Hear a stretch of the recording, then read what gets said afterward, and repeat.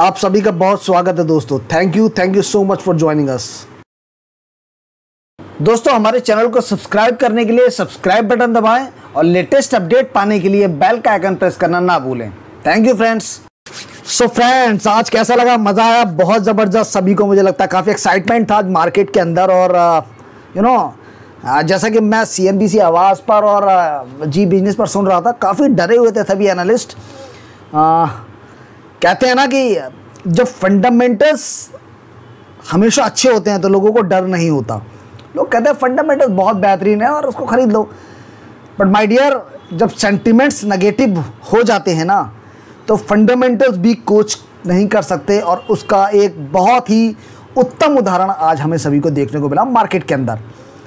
एक छोटी सी न्यूज़ जो कि एग्जैक्टली exactly एक तरीके का एक नेगेटिव सेंटीमेंट जनरेट किया जिसने, और मार्केट ओ माय गॉड आज तो मतलब आ, मैं कह नहीं पा रहा हूँ कि अगर जो ट्रेडर्स रहे होंगे उनको कितनी बेस्ट अपॉर्चुनिटीज़ मिली होंगी कितना बेहतरीन पैसा कमाया होगा। पर चूँकि मैं जनरली इंट्राडे नहीं करता हूँ तो मैं केवल मार्केट को वॉच कर रहा था। हाँ ऐसा नहीं कि मैंने बिल्कुल नहीं किया। कुछ पैसा मैंने कमाया दस बारह हज़ार रुपये बट ये था कि मैं भी एक टाइम में लॉस में आ गया था आज और वहाँ पर एक पैनिक सिचुएशन थी। बट जैसे जैसे दिन गुजरा होल्ड किया पोजीशन को जैसे जैसे दिन गुजरा लॉस प्रॉफिट में कन्वर्ट हुआ और लगभग दस बारह हज़ार रुपये का प्रॉफिट आज हमने भी बना लिया इंट्राडे पे। But that is not a regular process क्योंकि मैं जनरली बहुत रेयरली इंट्राडे खेलता हूँ, जब मुझे बहुत ही ज़बरदस्त एक अच्छी अपॉर्चुनिटी दिखाई देती है। अदरवाइज़ जनरली पोजिशनल कॉल रखता हूँ मैं अपने पास पोजिशंस रखता हूँ कैश में बाई करता हूँ जिन स्टॉक्स में भी करता हूँ। और, आप देखेंगे किस तरह से डी एच एफ़ एल सत्तावन परसेंट से भी ज़्यादा धराम हो गया। और आज ही केवल एक दिन की बात ही अगर मैं करूँगा तो केवल आज ही दस हज़ार करोड़ से भी ज़्यादा की मार्केट कैप सुहा हो गई, यानी कि ओम सुहा हो गया आज डीएचएफएल का। और अब जितनी भी अदर हाउसिंग फाइनेंस कंपनी है, जिसमें कि आप चले जाइए इंडिया बुल्स हाउसिंग फाइनेंस जो कि लगभग तीस परसेंट टूटा। And you know L I C housing finance L T finance services जितनी भी एन बी एफ़ सीज की बात करेंगे हम तो ज़बरदस्त पैनिक रहा। निफ्टी ने भी बहुत ही शानदार बॉटम लाइन टच किया दस हज़ार आठ सौ पचास के पास करीब। लेकिन हम लोगों ने ऑलरेडी आप सभी को प्रीवियस वीडियोस में ये बोल रखा है कि निफ्टी का जो स्ट्रॉन्गेस्ट सपोर्ट है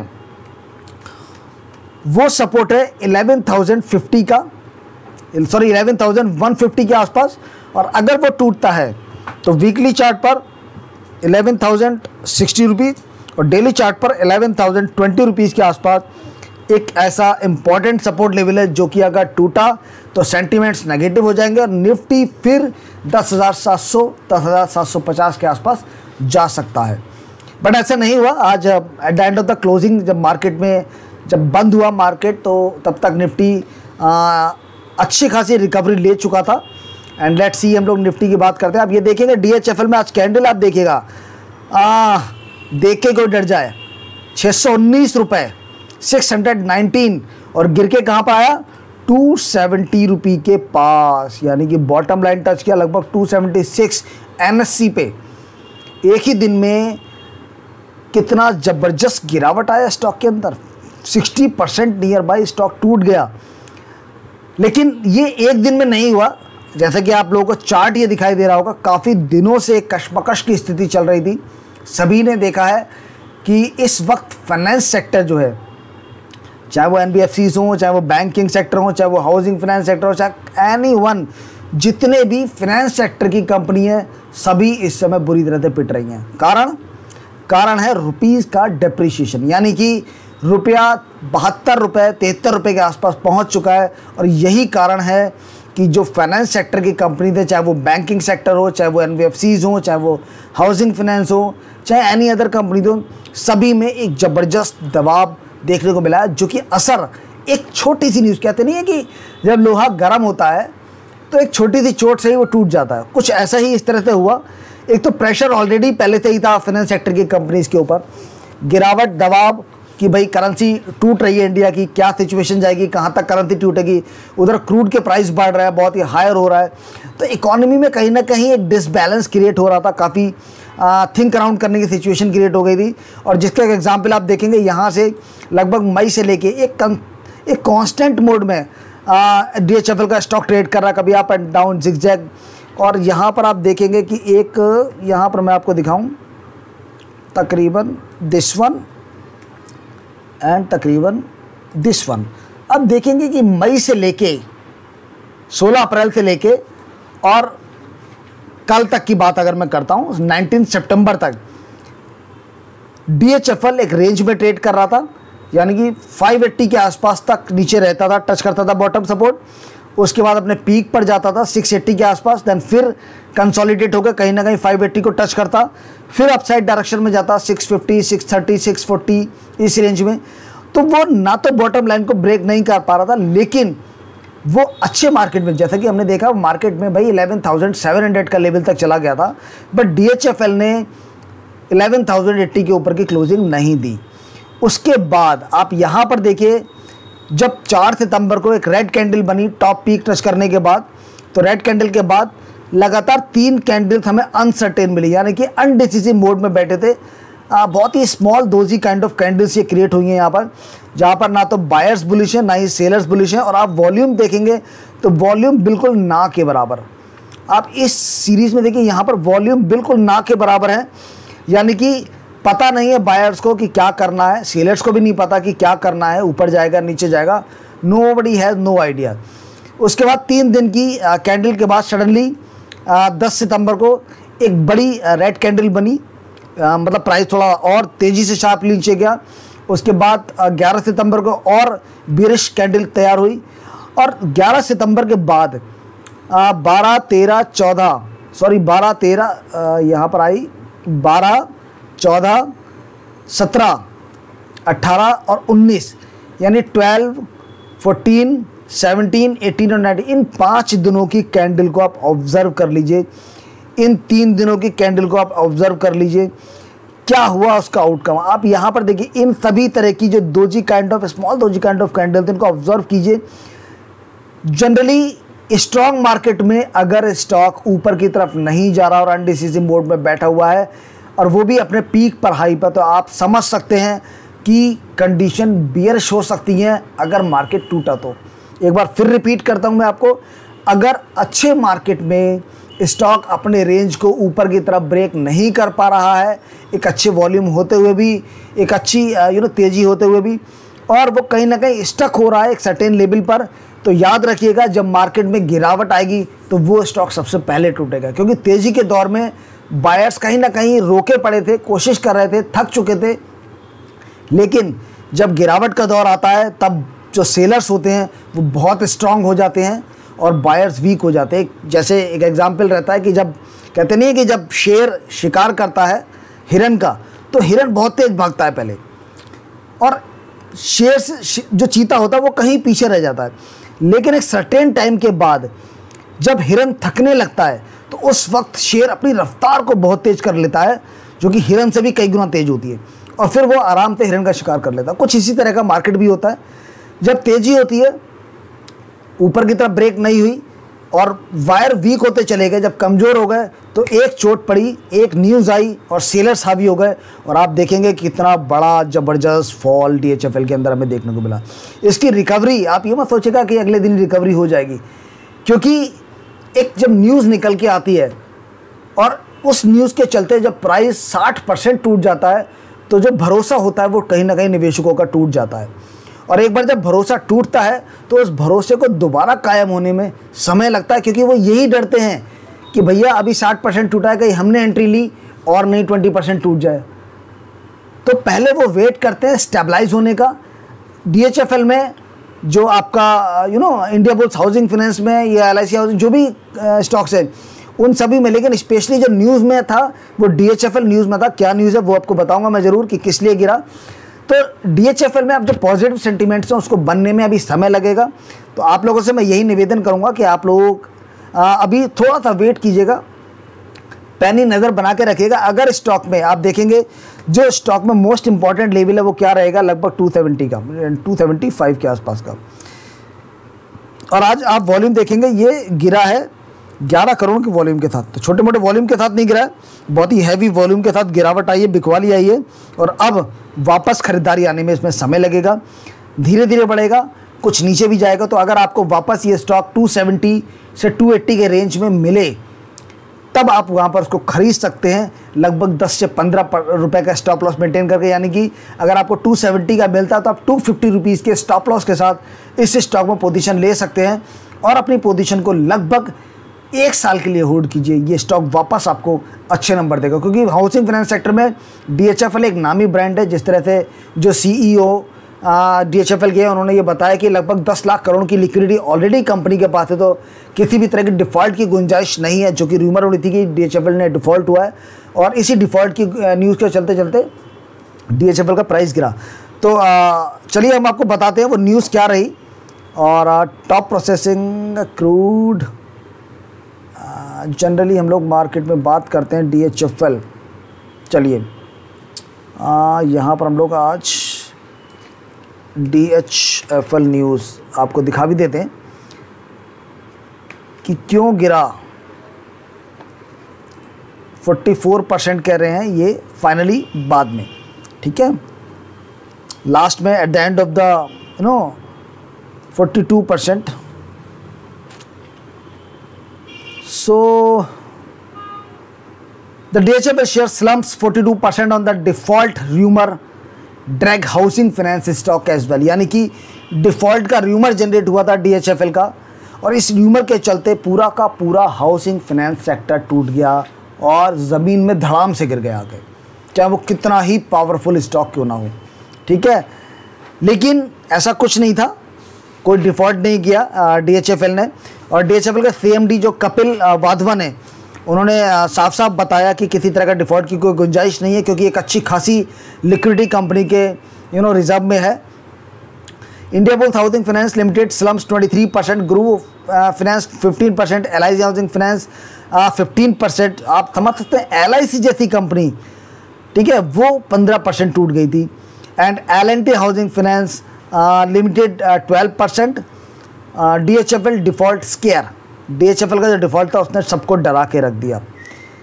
ओ shares of the housing finance companies came under the sharp selling pressure on the Friday after the Dewan housing finance limited D H F S slump nearly sixty percent in the afternoon trade यानी कि साठ परसेंट ये stock टूटा। Dragging down other home finance companies as well चूँकि other home finance company थी, वो भी डी एच एफ़ एल में गिरावट के चलते ही उनमें भी दबाव आया और उनमें भी एक बड़ी सेलिंग स्टार्ट हो गई। Indiabulls housing finance 23 percent Gruh housing 15 percent L housing 15 percent L housing finance 12 percent D H F L shares close at the rupees three fifty one point five five per share on the B S C down forty two point four three percent और rupee two fifty nine point zero five from the previous session यानी कि जो कल की closing थी उससे। ठीक है? सॉरी परसों की जो क्लोजिंग थी वेंसडे की। क्योंकि कल या थर्सडे को तो मार्केट ही क्लोज था। The benchmark Sensex fell point seven five percent और two seventy nine point six two point two the end of the day thirty six thousand eight hundred forty one point six zero the real estate market has been under pressure as the firms have not been able to raise funds due to the various policy steps RERA, GST and the demonetization taken by the government to curb black money. According to the analyst weak shares together will rise the cost of the pressure यानी कि real estate sector में भी अभी आपको सभी को दबाव मिलेगा तो आप थोड़ा सा जब रियल इस्टेट सेक्टर में दबाव रहेगा तो फिर जो फाइनेंस सेक्टर है हाउसिंग फाइनेंस सेक्टर उसमें भी दबाव आएगा। क्योंकि कम तक फाइनेंस कम हो जाएँगे लोन्स कम हो जाएँगे, ठीक है? Has been compounded with negative news flow arising from the implementation of the real estate regulation of the development act 2016 RERA and the insolvency and the bankruptcy code A likely further decline in the residential real estate price alongside rising cost will add to pressure on the valuation on the housing finance sector में भी pressure उसका रहेगा जो कि real estate में। यानी कि जब भी रियल एस्टेट पे प्रेशर आएगा तो ऑब्वियस सी बात है हाउसिंग फाइनेंस के जो लोन्स होंगे वो कम हो जाएँगे, घट जाएँगे लोन घटेंगे तो प्रेशर बढ़ेगा हाउसिंग फाइनेंस सेक्टर के ऊपर। मीडिया रिपोर्ट से D H F L had defaulted interest payment on its debt यहाँ पर कह रहे हैं मीडिया रिपोर्ट्स ने कहा था D H F L defaulted interest payment on it debt मतलब जो भी उसका कर्ज था, उसमें जो उनको इंटरेस्ट पेमेंट करना था, वो उसमें उसको डिफ़ॉल्ट हो गया, वो नहीं कर पाई। तो ये इस तरह की एक र्यूमर आई थी, जिसकी वजह से गिरा। However this was denied by the D H F L chairman and the managing director Kapil Wadhawan. तो जब ये मीडिया में ये रिपोर्ट फ्लैश हुई, उसके बाद धड़ाम हो गया, फिर उसके बाद दोपहर में आफ्टरनून में डी के चेयरमैन और जो मैनेजिंग डायरेक्टर थे, कपिल वाधवन, वो आए, उन्होंने बताया कि प्रॉपर लिक्विडिटी है कंपनी के पास। लगभग एक अच्छी खासी दस हज़ार करोड़ रुपए की लिक्विडिटी स्टील कंपनी के पास है तो किसी तरह की डिफ़ॉल्ट की कोई गुंजाइश नहीं बनती। It happening to all the H F Cs यानी housing finance companies and not just us I fail to understand why Wadhawan told Mint this is the un unprecedented we have not been delayed or defaulted any or any payment. We have sufficient cash reserves. It seemed to be outcome of the sentiment. We are communicating with the stakeholders including the investors तो ये बता बताना है कि इस तरह का किसी डिफ़ॉल्ट कोई डिफ़ॉल्ट नहीं हुआ है और ये जो जो भी न्यूज़ है वो जस्ट अ र्यूमर है। और इसके बारे में मैं आपको बता भी देता हूँ कि वो बेसिकली क्या र्यूमर था। Let's wait and watch just a moment मैं आपको दिखाता हूँ। थोड़ा सा वेट कीजिए, थोड़ा सा टाइम दीजिएगा, मैं आपको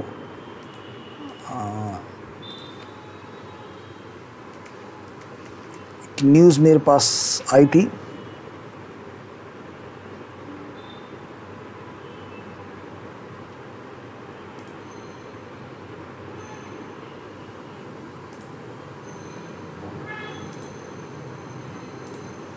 मैं आपको दिखाता हूँ, वो न्यूज़ मैं आपको ज़रूर डेफिनेटली पढ़ाऊँगा, जो डीएचएफएल के बारे में आई है। मेरे मित्रगणों ने मुझे शेयर की थी वो news and let's wait just give me a moment please and yeah. ये हम आपको select message copy text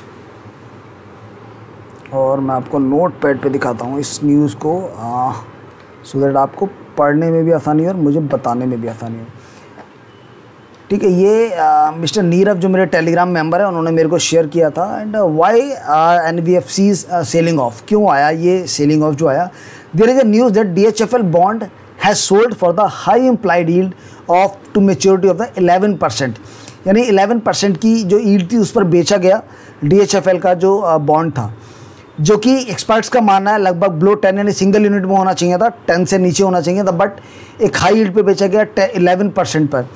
This has made stock investors of the D H F L worried about the D H F DHFL liquidity and sold off the stock और इसके चलते जब उन्होंने देखा कि हाई यील्ड पे बेचा गया है बॉन्ड तो इन्वेस्टर जो थे उनको उनको फियर आया, उनको लगा शायद डिफ़ॉल्ट आने की संभावना है और उन्होंने अपनी जो होल्डिंग्स थी उसको बेचना शुरू कर दिया। ठीक है? Other H F Cs have sold off the in the sympathy with the D H F L other non H F Cs N B F Cs have joined in the sell off जब DHFL गिरना शुरू हुआ तो obviously बात है कि जब market में ए, किसी एक पर्टिकुलर सेक्टर का एक स्टॉक गिरता है किसी एक र्यूमर के चलते तो अदर जो कंपनीज़ होती हैं उनके जो निवेशक होते हैं वो भी for the safety point of view अपने पैसे को विड्रॉ करना शुरू कर देते हैं और सेल ऑफ़ सेलिंग शुरू कर देते हैं। वही हुआ अदर कंपनीज़ में भी सेलिंग शुरू हो गई। F L management has confirmed on the air that they have not defaulted and there is no liquidity crisis at the D H F उन्होंने ये क्लियर कर दिया कि किसी भी तरह का कोई भी लिक्विडिटी क्राइसिस नहीं है कंपनी के साथ it is possible that the entity which sold D H F L paper did so because it was not satisfied with this exposure and wanted to sell anything of slightly questionable credit worthiness. This is an example of the risk aversion after the unfolding of the IL and FS saga, even though entities being sold off have no direct exposure to the IL and FS. DHFL and IBHF have both confirmed on the year they do not have any exposure to IL and FS यानी कि IL FS जो company है वहाँ पर उसमें default हुआ है और उसमें डिफ़ॉल्ट के चलते जो बॉन्ड डील बिकी उसमें लगा कि कहीं ना कहीं जो डी है और जो इंडिया बुल्स हाउसिंग है दोनों का कहीं ना कहीं exposure I L and F S में बट दोनों के ही सीईओ ने आके ये कंफर्म कर दिया कि उनकी किसी भी तरह का exposure I L and F S में नहीं है। और फ़िलहाल मार्केट में शेयर तो काफ़ी गिर चुका प्लंग हो चुका फोर्टी टू परसेंट से फोर्टी थ्री परसेंट के आसपास डाउन साइड क्लोजिंग में बंद हुआ है। बट गाइज़ देखिए, अभी मैं आपको खरीदने की सलाह नहीं दूँगा। रीज़न बिहाइंड कि एक सेंटीमेंट तो नेगेटिव जनरेट हो ही गया। नेक्स्ट वीक अभी मार्केट की एक्सपायरी भी है। और मुझे लगता है कि स्टिल कुछ प्रेशर अभी रहेगा। एक बार जो लेबल थे उसको कंसोलिडेट होने का वेट कीजिएगा आप लोग, जल्दीबाजी में मत खरीदिएगा। प्रॉपर कंपनी की एनालिसिस कीजिएगा चार्ट पैटर्न आप देख लीजिएगा। इस वक्त फंडामेंटल तो एक साइड में चले गए कंपनी के, क्योंकि फंडामेंटल डजेंट मैटर इस समय। ठीक है? इस वक्त जो मेन चीज़ है, वो है सेंटीमेंट्स क्योंकि हमेशा अगर आप फंडामेंटल्स पे गेम खेलते रहेंगे ना तो भी आपको प्रॉब्लम हो सकती है। तो आपको फंडामेंटल के साथ साथ सेंटीमेंट और सेंटीमेंट के लिए क्या ज़रूरी होता है? ज़रूरी होता है टेक्निकल एनालिसिस और टेक्निकल एनालिसिस में आप देख पा रहे होंगे कि चार्ट ऑलरेडी काफ़ी दिनों से एक सिग्नल दे रहा था। पकड़ना नहीं पकड़ना एक अलग बात है बट चार्ट ने इंडिकेशंस दिए थे कि वो एक अच्छे मार्केट में भी, एक तेज़ी के मार्केट में भी ऊपर की रेंज को ब्रेक नहीं कर रहा है। एक वीकनेस शो कर रहा है, एक यू नो एक स्टकनेस दिखा रहा है, और यहाँ पर छोटी छोटी जो दो जी काइंड ऑफ़ कैंडल्स हैं वो ये दिखा रही है, ये बता रही है कि कहीं ना कहीं बायर्स और सेलर काफ़ी कंफ्यूज थे कि क्या हो सकता है।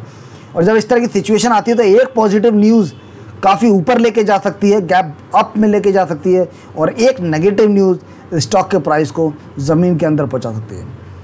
खैर, इसीलिए मैं कहता हूँ आप लोगों से, आप लोग टेक्निकल और फंडामेंटल दोनों ही लेवल्स पर अच्छी जानकारी हासिल कीजिए, पढ़ते रहिए, सीखते रहिए। क्योंकि अगर आपने सीखना बंद कर दिया तो ये स्टॉक मार्केट आपको कहीं का नहीं छोड़ेगा। और आज जो लोग केवल सुन के न्यूज़ बेस पे ही बाइंग करते होंगे, इन्होंने देखा 10 परसेंट डी एच एफ़ गिर गया, खरीद लो। इन्होंने देखा 20 परसेंट डी एच एफ़ गिर गया, खरीद लो। और उन्होंने चार्ट पैटर्न को नहीं समझा होगा, उनमें से जाने कितने लोगों को आज हार्ट अटैक आया होगा। और ये मुझे कहते हुए भी कोई वो नहीं हो रहा है कि आज नहीं आया होगा। हाँ मैं ईश्वर से यही दुआ करता हूँ, अगर कुछ लोगों को इस तरह की तकलीफ़ हुई हो इस तरह के पैनिक बाज़ार में तो ईश्वर उनकी मदद करे उनकी रक्षा करे उनके परिवार की रक्षा करे।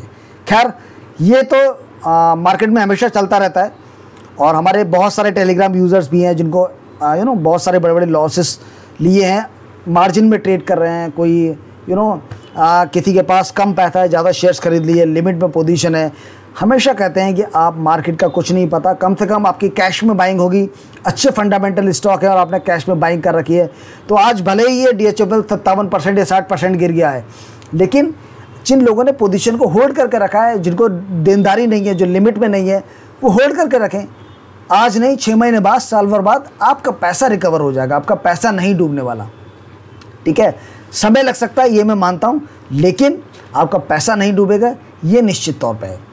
तो दोस्तों, किसी भी तरह की intraday day trading limit margin borrowing किसी भी तरह से इन माध्यमों से आप ट्रेडिंग मत कीजिए, वरना आप बड़ी भारी मुश्किलों में घिर सकते हैं। ये एक आप सभी को सीख है मार्केट में कि मार्केट जब गिरता है, एक न्यूज़ के चलते तो संभलने का मौका किसी को भी नहीं मिलता। चाहे वो छोटा निवेशक हो, चाहे वो बड़े इन्वेस्टर्स हों दोस्तों। खैर, आज के लिए ही इतना ही ज्ञान। अगले वीडियो में हम लोग जल्दी ही मुलाकात करेंगे। बात करेंगे यस बैंक के बारे में। तो आप देखते रहिए मेरा अगला वीडियो यस बैंक के बारे में। क्या करना है यस बैंक में, ये मैं आपको ज़रूर बताऊँगा। बाई करना है, सेल करना है। और अगर आप लोग पहली बार मेरे चैनल को देख रहे हैं तो सब्सक्राइब करना ना भूलें। और साथ ही अगर आप बेल के आइकन प्रेस करेंगे तो जो लेटेस्ट वीडियो आने वाला है येस बैंक पे, उसका नोटिफिकेशन तुरंत आपको मिलेगा। और आप सबसे पहले वीडियो को देख पाएँगे, उसके लिमिट्स को जान पाएँगे और सही निर्णय लेने में आपके लिए वो वीडियो काफ़ी मददगार हो सकता है दोस्तों। खैर आज इतना ही अगले वीडियो में जल्दी मुलाकात करते हैं तो मुझे आज्ञा दीजिए, चलता हूँ मैं।